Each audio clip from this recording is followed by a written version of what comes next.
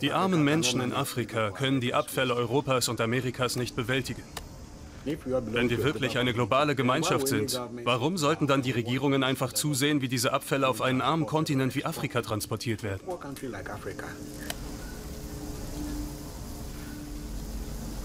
Für mich ist es ein bewusster Versuch des Westens, sich veraltete Technologien und gefährliche Stoffe in Afrika vom Hals zu schaffen, weil die Entsorgung in entwickelten Ländern teurer ist. Es ist billiger, sie hierher nach Afrika zu bringen. Das macht mich wirklich wütend. Denn wenn Elektroschrott gefährlich ist, dann muss man auch für die Entsorgung bezahlen. Wenn man dazu nicht bereit ist und den Schrott woanders abwirft, dann ist das nicht fair. Wenn man sich hier umsieht, sieht man, dass von den Menschen, die unter dem Elektroschrott leiden, etwa 70 Prozent Frauen und Kinder sind. Sie sind die Mehrheit derer, die hierher kommen. Einige haben eigentlich nichts mit dem Abfall zu tun, aber wir müssen uns über das Thema ernsthafte Gedanken machen.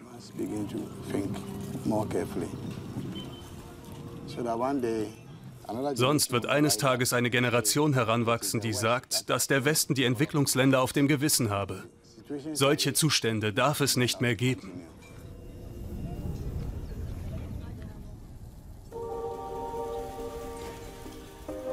Das ist Agbobloshi, ein Schrottplatz in Ghanas Hauptstadt Accra.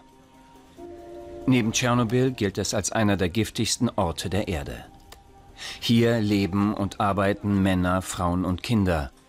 Sie nehmen unseren Elektroschrott auseinander und versuchen wertvolle Materialien aus den Dingen zu gewinnen, die wir wegwerfen.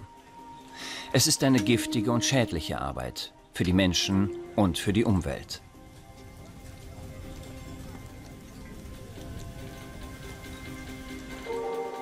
Mit steigender Produktionsrate von Elektronikartikeln entstehen weltweit immer mehr Orte wie dieser. Sie sind das Gesicht unserer wachsenden Elektroschrottkrise.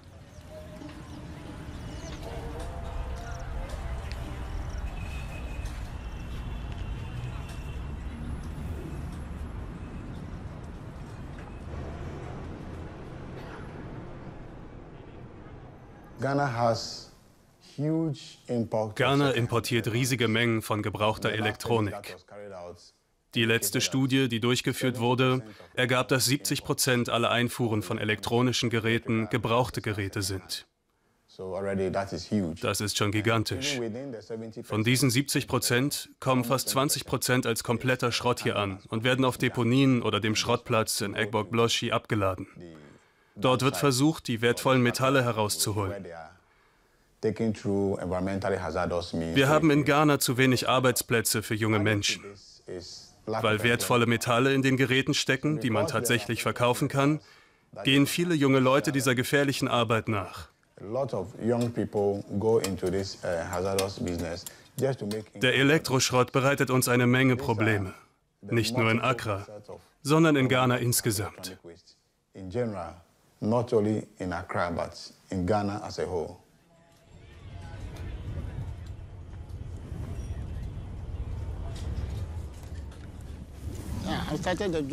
Ich fing meine Arbeit hier mit dem Verbrennen und Zerlegen an, mit 17 oder 18.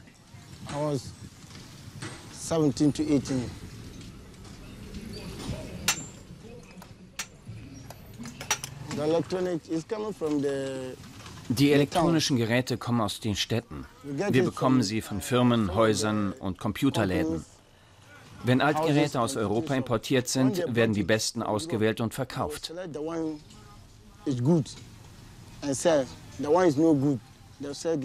Der Rest landet hier. Und diesen Elektroschrott zerlegen wir und entfernen das Kupfer und die Aluminiumdrähte. Den Rest verbrennen wir.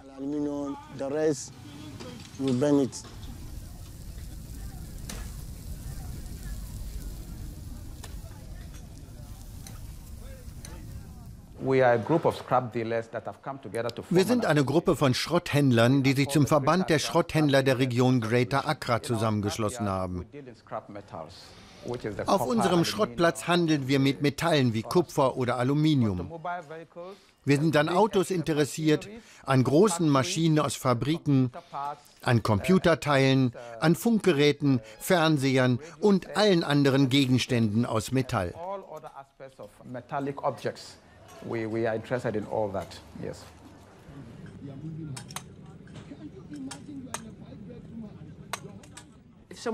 Wenn mir jemand vor zehn Jahren gesagt hätte, dass ich einmal einen Laptop oder ein Telefon haben würde, mit dem man ins Internet gehen, Filme machen und telefonieren kann, oder ein Tablet, das das alles auch kann, ich hätte es nicht geglaubt. Die Informationstechnologie wächst immer weiter, auch in den Entwicklungsländern. Nehmen wir das Handy als Beispiel. Im Jahr 2011 wurden fast 500 Millionen davon hergestellt. Zwei Jahre später hatte sich die Zahl auf eine Milliarde verdoppelt. Heute gibt es mehr funktionierende Handys auf dem Planeten als Menschen. Aber irgendwann gehen alle Handys kaputt. Im Jahr 2014 produzierten wir weltweit 42 Millionen Tonnen Elektroschrott.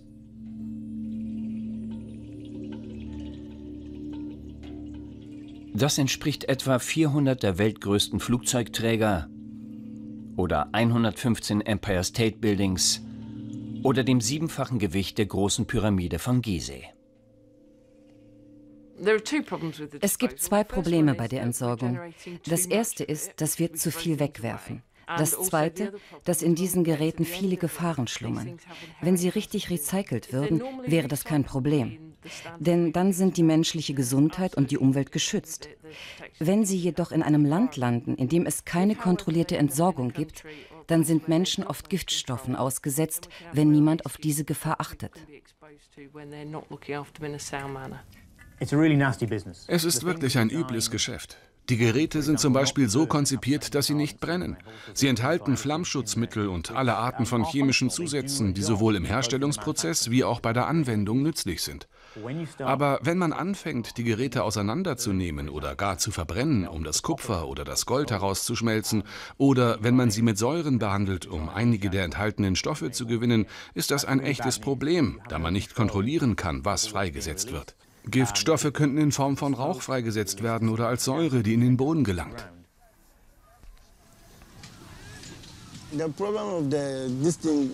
Das Problem ist vor allem der Rauch.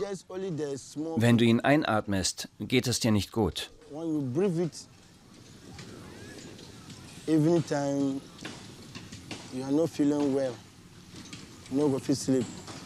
Man kann nicht schlafen, man bekommt Fieber.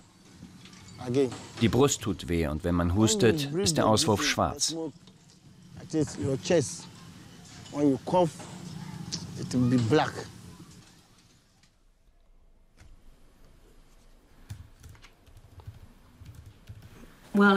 Ich möchte verstehen, wie die Umwelt und die menschliche Gesundheit zusammenwirken. Ich bin Toxikologin und teste neue Inhalte und Verbindungen. Das Filmteam wollte eine unabhängige Studie durchführen, um zu testen, ob es chemische Verunreinigungen im Zusammenhang mit der Entsorgung und Verarbeitung von Elektroschrott in Akbobloshi gibt. Im Rahmen der Studie arbeitete ich mit Samson Atiemo zusammen. Er ist ehemaliger Lehrer und derzeit Forscher in der ghanaischen Kommission für Atomenergie, einer staatlichen Forschungsstation. I ich unterrichtete an einer Schule, als wir einmal einen Brief von einer holländischen Firma bekamen. Sie wollte unserer Schule Computer und andere Forschungsgegenstände spenden, um die IT-Ausbildung zu unterstützen. Wir waren sehr froh, weil wir damals diese elektronische Ausrüstung brauchten. Die Firma bezahlte die Kosten. Zwei 40-Fuß-Container wurden aus den Niederlanden bis hinunter in meine Heimatstadt Akropong gebracht, wo ich unterrichtete. Als wir die Computer testeten, stellten wir fest, dass etwa 80 Prozent von ihnen nicht funktionierten. Wir waren überrascht. Wie konnte eine Firma so viel bezahlen, um uns diese Schrottgeräte zu schicken? Ich hatte noch nichts von Elektroschrott gehört, aber ich sprach mit anderen Lehrern aus verschiedenen Sekundarschulen und leider hatten sie alle die gleiche traurige Geschichte erlebt. In einem Fall funktionierte kein einziger der Computer. Ich ging ins Internet und suchte nach unbrauchbare Computer in Afrika entsorgen. Da fand ich viele Informationen über Elektroschrott und forschte weiter.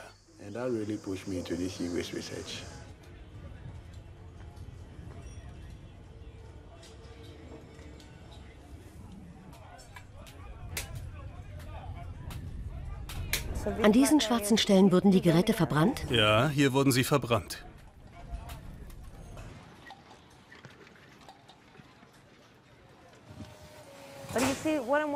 Ich frage mich, warum da Leute mit der Hand...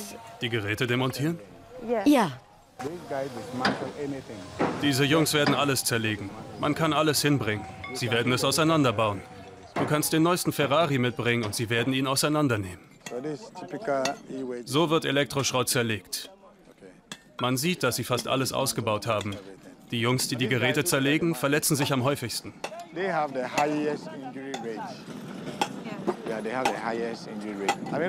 Sieh dir an, wie der Typ auf den Kompressor hämmert. Wenn er mit dem Hammer ausrutscht, kann er sich tödlich verletzen.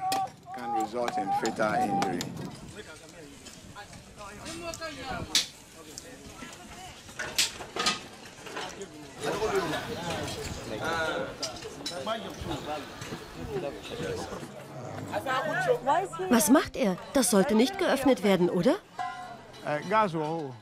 Pass auf, da ist Gas. Da ist Gas drin. Was er tut, ist gefährlich. Deshalb protestieren seine Kollegen.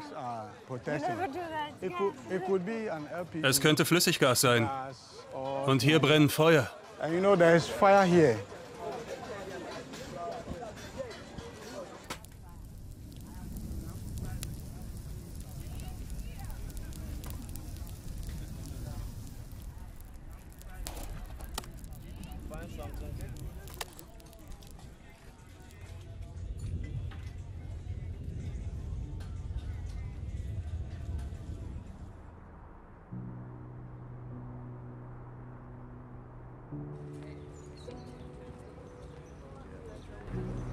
Was wirklich überraschend ist, wenn man ein Mobiltelefon öffnet und die Leiterplatte durch ein Mikroskop betrachtet, wie winzig einige dieser Komponenten sind. Und sie werden immer kleiner, weil wir immer mehr Leistung und immer kleinere Geräte benötigen. Kondensatoren und Widerstände haben jetzt einen Durchmesser von weniger als einem Drittel Millimeter. Das entspricht etwa der Breite eines menschlichen Haares.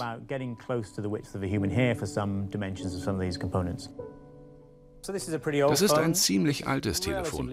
Bis zu einem gewissen Punkt ist es recht einfach zu zerlegen. Dann wird es komplizierter.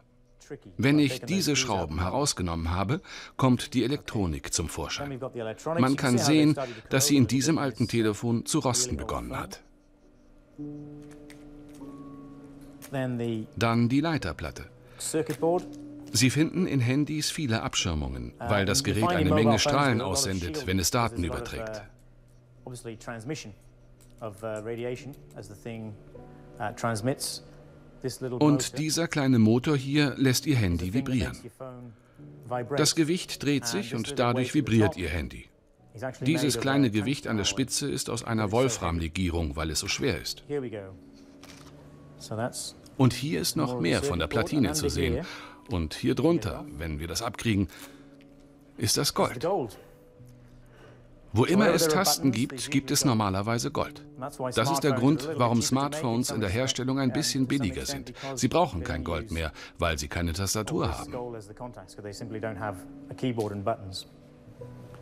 Bei diesem Design ist offensichtlich nicht viel darüber nachgedacht worden, wie man die recycelbaren Materialien und die wertvollen und giftigen Materialien herausbekommt. Sie werden einfach in das Design integriert. Der gesunde Menschenverstand sagt einem, dass das ziemlich schwierig ist und sich wahrscheinlich nicht lohnt. Wenn Sie ein Recycler sind, werden Sie das einfach direkt in einen Recyclingofen werfen, um dadurch an die Edelmetalle zu kommen. Die derzeitige Recycling-Technologie ist beschränkt. Wir können nur einen Teil der Bestandteile und Elemente, die wir wegwerfen, überhaupt wiederverwerten. In der Regel weniger als die Hälfte. Der Rest wird nie vollständig zurückgewonnen, sodass wir im Grunde genommen einige dieser wertvollen Materialien verbrauchen und dann wegwerfen. Eine Reihe der weggeworfenen Materialien gelten in der EU als giftig. Blei ist eines davon, aber auch Cadmium, Arsen, von dem die meisten Menschen wissen, dass es giftig ist, Quecksilber und viele andere, die der Gesundheit schaden.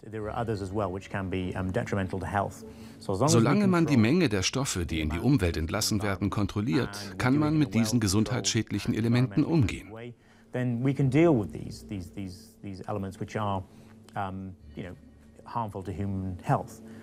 Wenn sie aber unkontrolliert in der Umwelt freigesetzt werden und in die Böden und Luft gelangen, dann kann das zum Problem werden.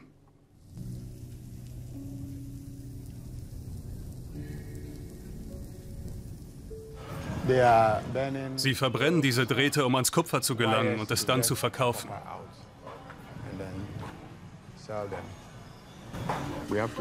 Wir müssen ein bisschen in diese Richtung gehen. Bist du bereit? Ja. Bist du sicher? Bei den wichtigsten Chemikalien, die wir untersuchen wollen, konzentrieren wir uns auf fünf bestimmte Schwermetalle. Schwermetalle im Allgemeinen können gesundheitliche Probleme verursachen. Die fünf, die wir ausgewählt haben, sind Blei, Arsen, Cadmium, Chrom und Quecksilber, von denen man glaubt, dass sie bei Menschen Probleme verursachen. Oh Gott, das ist hässlich. Wenn du gehst, musst du dich gründlich duschen. Mit viel Seife.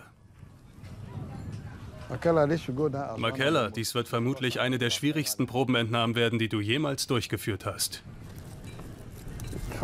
Versuche so wenig Müll wie möglich zu berühren.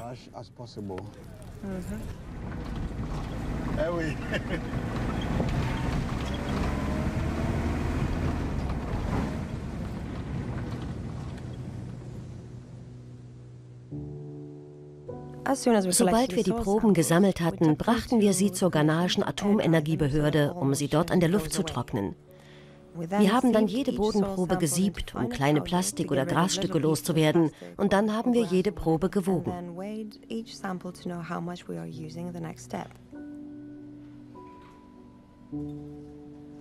Der nächste Schritt war die Zugabe von Säuren zu den Proben, um eine Reaktion durchzuführen, die als Säureaufschluss bezeichnet wird.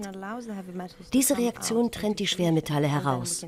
Dann können wir diese Lösungen analysieren und die Daten darüber erfassen. Wir nehmen die Lösungen und untersuchen sie, in unserem Fall mit einem Atomabsorptionsspektroskop. So können wir die Konzentration von Schwermetallen pro Gramm feststellen. Und so haben wir die Menge der fünf Schwermetalle bestimmt, die wir ausgewählt haben.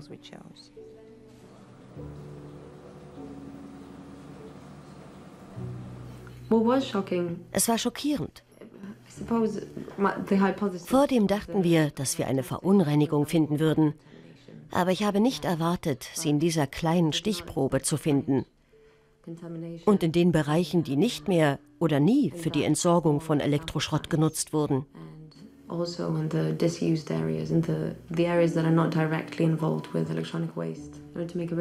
um zwischen jedem Schwermetall und einem Gesundheitsproblem eine klare kausale Beziehung herzustellen, dauert es lange.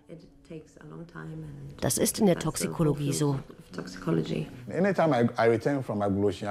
Immer wenn ich von Agbok Bloshi zurückkehre, betrete ich mein Haus mit keiner Kleidung, die ich dort getragen habe. Ich ziehe alles aus und gehe nackt ins Bad, damit ich mit nichts in Berührung komme. Ich wasche und weiche meine Kleidung für etwa drei Tage ein, bevor ich sie in die Waschmaschine lege, damit ich niemanden zu Hause verseuche, weil die riesige Verschmutzung auf dem Gelände mir Sorgen macht.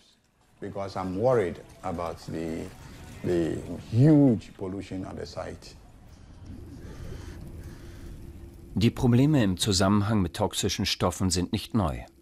Es gibt internationale Verträge, die deren Transport, Verwendung und Entsorgung regeln.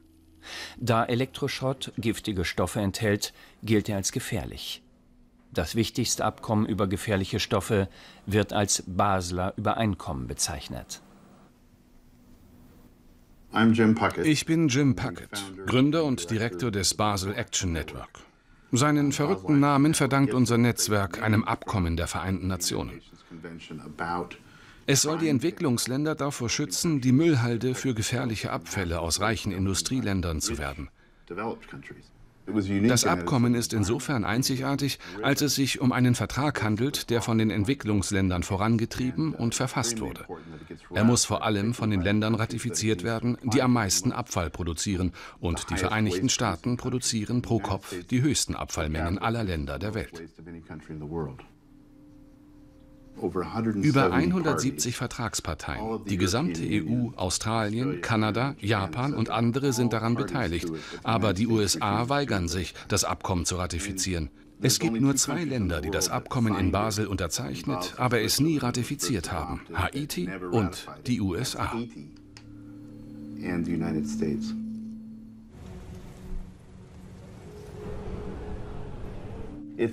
Es ist ein großer Fehler anzunehmen, dass Ghana das Ausmaß des Problems darstellt.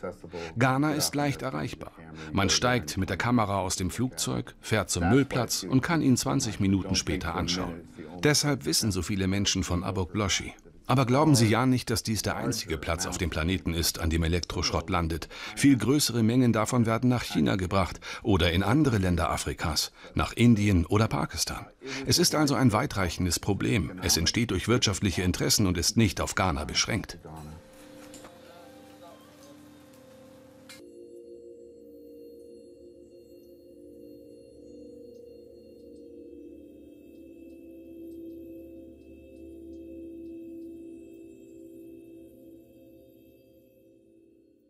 Wir haben vielleicht nicht auf alles testen können, aber die fünf Elemente, die wir gefunden haben, sind gesundheitsschädlich, besonders Blei und Quecksilber.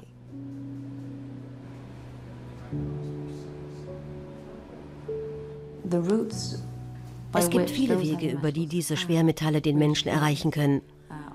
Es kann schädlich sein, sie einzuatmen, zu schlucken, Hautkontakt mit ihnen zu haben. Und sie sind sehr schädlich für schwangere Frauen weil Schwermetalle die Entwicklung des Embryos beeinflussen können.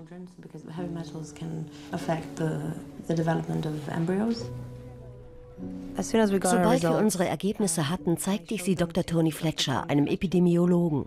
Er arbeitet sowohl bei der staatlichen Gesundheitsbehörde von England als auch beim Londoner Institut für Hygiene und Tropenmedizin, meinem Arbeitgeber. Mein Fokus in den letzten zwei Jahren lag besonders auf chemischen Rückständen, vor allem in kontaminierter Erde und im Trinkwasser. Ich weiß natürlich vom Elektroschrott und durch McKellar von Egborg-Bloshi und den alarmierenden Ergebnissen der Bodenkontamination dort. Das ist sehr besorgniserregend, denn die Menschen sind schutzlos. Ich nehme an, sie haben keine Informationen über die möglichen Gefahren. Man kann sie nicht riechen. Man kann diese Metalle nicht schmecken. Aber man ist den Giften in einem Maße ausgesetzt, das zu chronischen Gesundheitsrisiken führen kann, ohne dass man das rechtzeitig bemerkt. Hier geht es vor allem um zwei Arten von Risiken. Auf der einen Seite neurologische Schäden, Risiken für das Gehirn und das Nervensystem, besonders durch Blei und Quecksilber.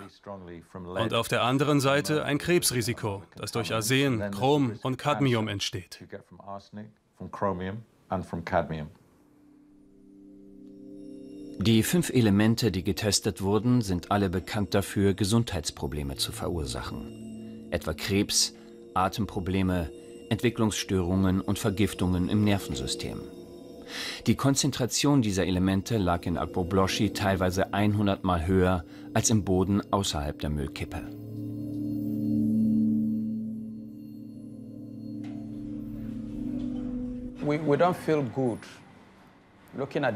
Uns geht es nicht gut, uh, sowohl was die Luftqualität betrifft, als auch wirtschaftlich und gesundheitlich. Wir sind die Ersten, die unter den negativen Folgen von dem, was wir hier tun, zu leiden haben, bevor andere Menschen es zu spüren bekommen. Deshalb sind wir unzufrieden. Es ist so wie, wenn man eine Tochter hat, die stirbt, man aber nicht das Geld hat, sie ins Krankenhaus zu bringen. Man ist verwirrt und weiß nicht, was man tun soll. Das ist die Situation, in der wir uns befinden. Da die USA das Basler Übereinkommen nicht ratifiziert haben, können ihre Unternehmen Elektroschrott exportieren, ohne gegen Gesetze zu verstoßen. In der Europäischen Union, die das Übereinkommen ratifiziert und mehrere andere Abkommen umgesetzt hat, darf nur funktionierende Elektronik in Entwicklungsländer exportiert werden. Trotzdem findet der Export von Elektroschrott immer noch statt.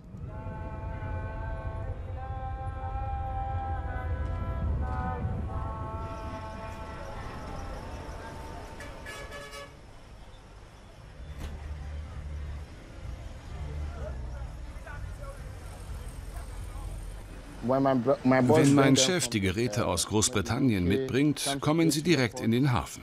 Mein Generaldirektor erledigt dort den ganzen Papierkram. Danach entladen wir sie in unserem Lagerhaus, bevor wir sie in unsere verschiedenen Läden bringen. Von 50 Stück können wir etwa 40 reparieren. Wir müssen sie alle überprüfen. Mein Job ist es, sie noch einmal zu überprüfen und zu reparieren.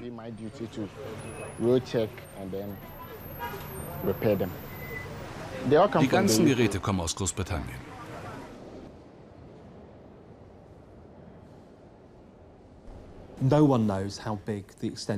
Niemand weiß, wie groß das Ausmaß der Kriminalität ist, weil natürlich keiner dokumentiert, wenn er gerade 10.000 Tonnen Elektroschrott illegal ausgeführt hat. Wir nehmen an, dass jedes Jahr etwa 100.000 Tonnen Elektroschrott illegal aus England exportiert werden.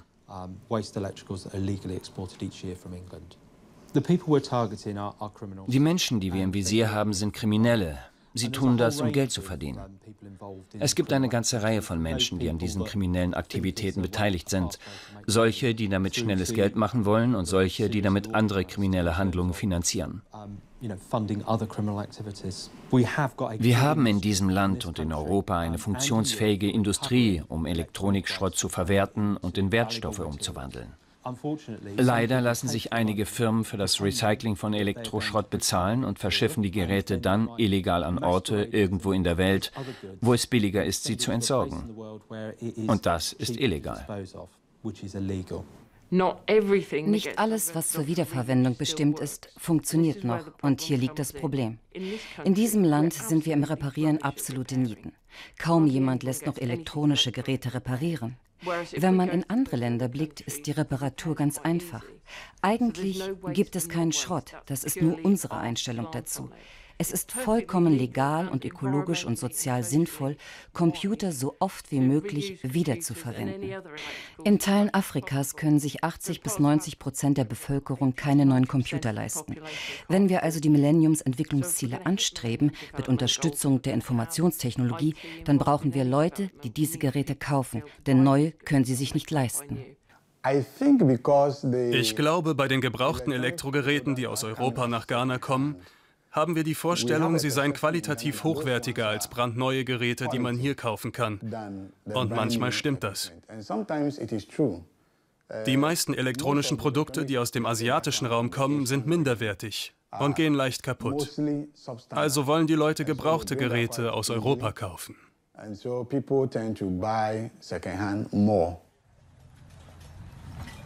Ob legal oder illegal exportiert.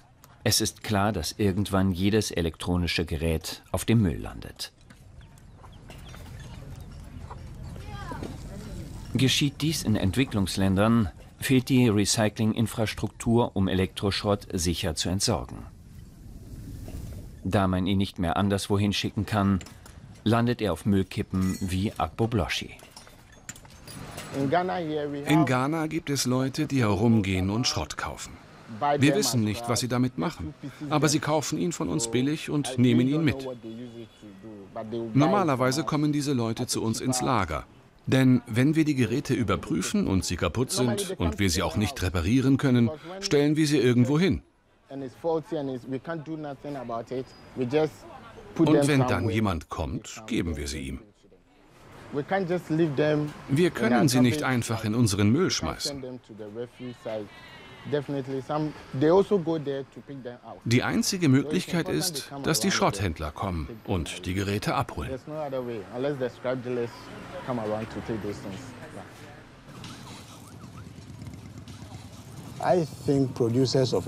Ich denke, die Hersteller von elektronischen Geräten müssen Verantwortung übernehmen. Es gibt keine Rechtfertigung dafür, in einer Tastatur der Firma Dell, die in Eggbog-Bloshi landet, Blei zu finden. Wenn wir über eine Kreislaufwirtschaft in Großbritannien sprechen, gibt es dafür absolut keine Rechtfertigung. Why Warum sind Dell, HP, Toshiba und so weiter in Großbritannien, Europa und Amerika für die Entsorgung ihrer Produkte verantwortlich? Aber in Afrika wird es armen jungen Männern überlassen, sie auseinanderzunehmen und sich selbst und alle anderen zu vergiften.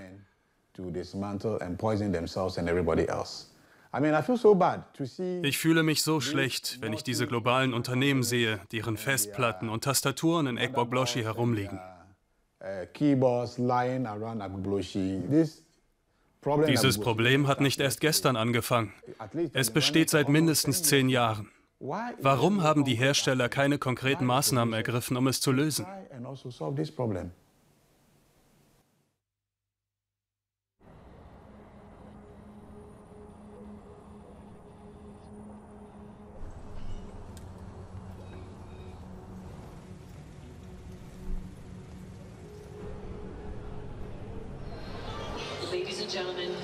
Your seats and silence your devices. Welcome to the future. The millions of decisions, big and small. The countless realizations of new ideas. The immeasurable number of choices that all happened in this moment will shape the world as we know it tomorrow and for years to come. New technologies are giving us the power to not only navigate the chaos, but to define the future ourselves. Es ist wirklich interessant zu beobachten, wie der globale Fokus jetzt sowohl auf den Klimawandel als auch auf Materielles gerichtet wird. Wie viel haben wir und wie viel brauchen wir? Wenn alle so viel konsumieren würden, wie es die Amerikaner heute tun, bräuchten wir fünf Erden, um die Rohstoffe dafür zu liefern. Wir haben keine fünf Erden und das wird sich nicht ändern. Also müssen wir uns überlegen, wie wir Waren herstellen und sie verwenden.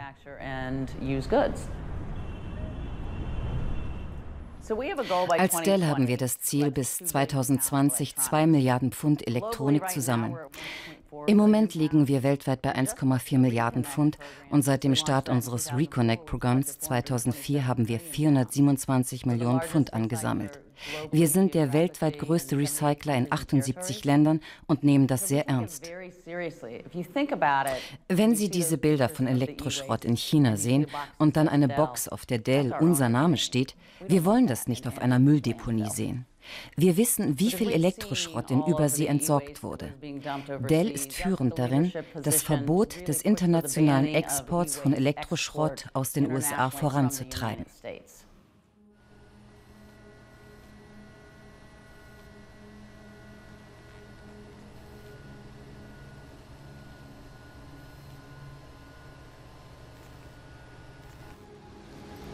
Das Problem beim Recycling ist, dass es für sich allein keine Lösung ist. Der Prozess ist komplex und teuer und viel wertvolles Material geht immer noch verloren. Um die Menge an Elektroschrott zu reduzieren, müssen wir überdenken, wie wir unsere Technologie entwickeln und herstellen.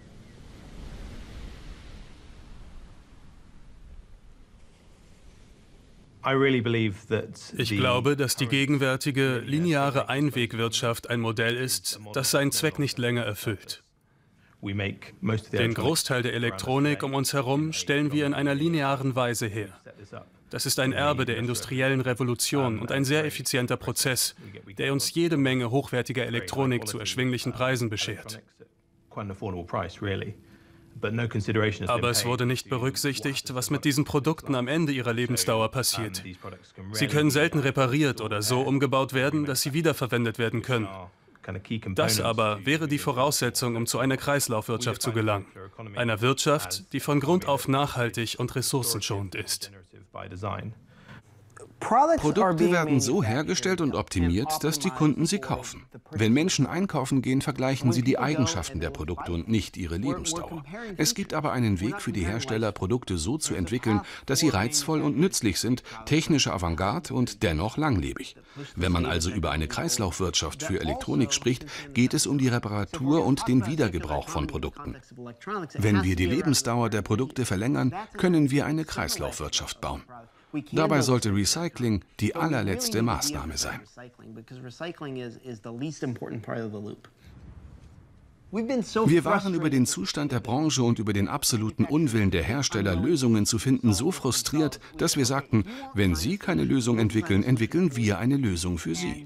Wir werden Ihre Hardware für jeden verständlich machen. Wir werden Ihre Produkte in ihre Einzelteile zerlegen und den Menschen zeigen, wie das geht, ob es ihnen gefällt oder nicht. Wenn ein neues Produkt auf den Markt kommt, nehmen wir es auseinander. Wir finden heraus, wie man es reparieren kann und veröffentlichen das.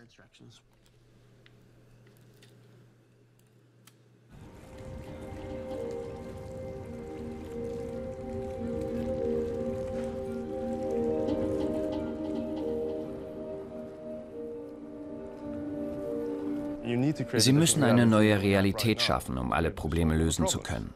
Warum sollte man sich also auf alle Probleme konzentrieren? Wir konzentrieren uns auf die Probleme in unserer eigenen Lieferkette, um Veränderungen in der gesamten Branche zu erreichen. Wie wir das machen? Indem wir eine andere Art des Denkens erschaffen. Fairphone ist Teil einer größeren Sache. Wir waren sehr erfolgreich, weil wir am Anfang wie eine Kampagne organisiert waren. Aber an einem bestimmten Punkt haben wir gemerkt, dass man Teil des Wirtschaftssystems sein muss, um wirklich Dinge verändern zu können. Das war auch der Moment, in dem wir sagten, wenn mehr als 5000 Leute unser Telefon kaufen wollen, werden wir es bauen.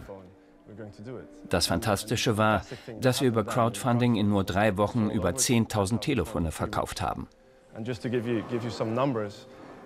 Plötzlich hatten wir 3,5 Millionen Euro durch Crowdfunding auf unserem Konto, wussten aber nicht, wie man ein Telefon baut. Wir hatten ein bisschen Panik, aber wir erkannten, dass die Leute wirklich etwas anderes wollten.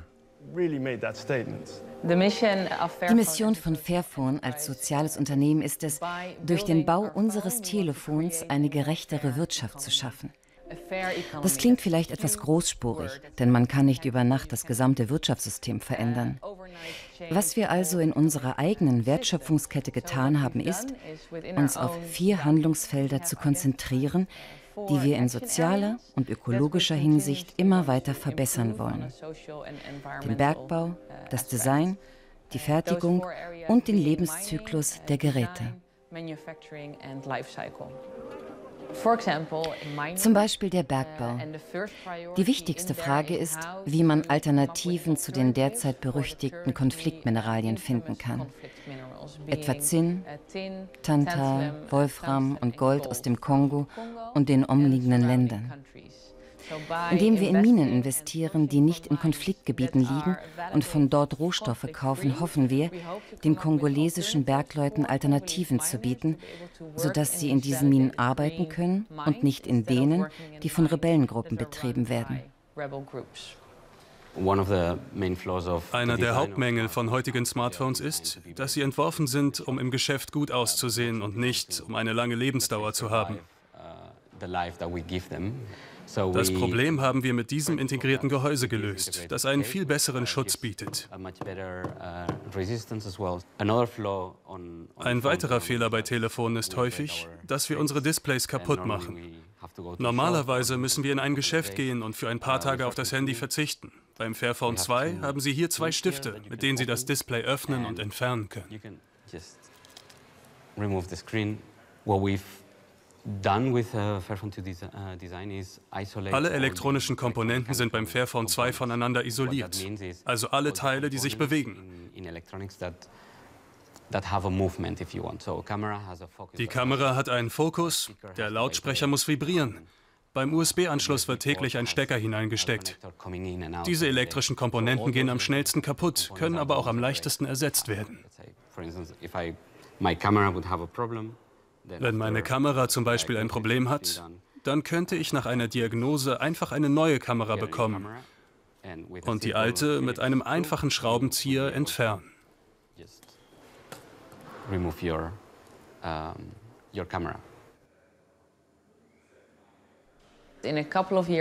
Ich bin mir hundertprozentig sicher, dass die Industrie in ein paar Jahren viele Ideen einer Kreislaufwirtschaft in ihr Produktmanagement, Produktdesign, die Serviceleistung und in das Thema Entsorgung integriert hat.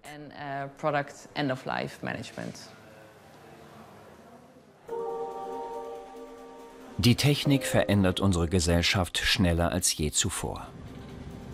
Die Geschwindigkeit, mit der wir bauen und konsumieren, stellt jedes Jahr neue Rekorde auf. Infolgedessen steigt auch die Menge, die wir wegwerfen.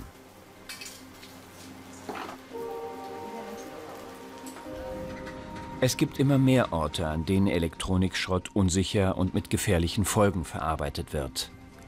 Akbobloschi ist nur ein Beispiel.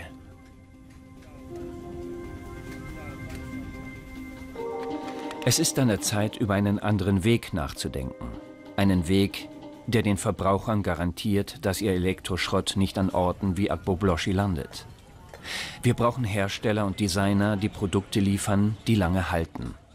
Wir brauchen eine Lösung. Wir diskutieren doch noch gar nicht wirklich über eine Kreislaufwirtschaft. Wir haben doch gerade diese Hauptplatine dort gefunden. Warum liegt die da? Warum setzen wir diese Kinder diesem Müll aus, wenn wir die Dinge besser verwenden und in der Produktkette weiterverwerten können? Ist das Absicht oder denkt jemand nicht nach? Ich glaube, manchen ist das ziemlich egal. Dann müssen wir anfangen, uns darum zu kümmern. Denn wir leben in einem globalen Dorf. Das ist nicht nur ein ghanaisches Problem. Hier geht es nicht um Egbok Bloshi. Hier geht es nicht einmal um Ghana, sondern darum, wie wir unsere Altgeräte behandeln. Wenn wir es als Problem Egbok Bloshis betrachten oder als Problem der Verschmutzung Ghanas, die wir mit fantastischen Bildern in der Zeitung oder im Internet zeigen und sagen, oh, Ghana ist verschmutzt. Es geht nicht nur um Ghana. Es geht darum, wie wir als globales System mit Materialknappheit und Materialerhaltung umgehen. Die Zukunft dieses Globus hängt davon ab, wie wir ihn zu einem besseren Ort machen, in dem die Materialien in der Produktionskette bleiben. Sonst wird die nächste Generation nicht überleben, was wir hier tun. Es ist sicher nicht nachhaltig.